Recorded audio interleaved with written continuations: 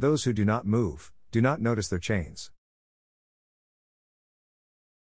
Freedom is always, and exclusively, freedom for the one who thinks differently.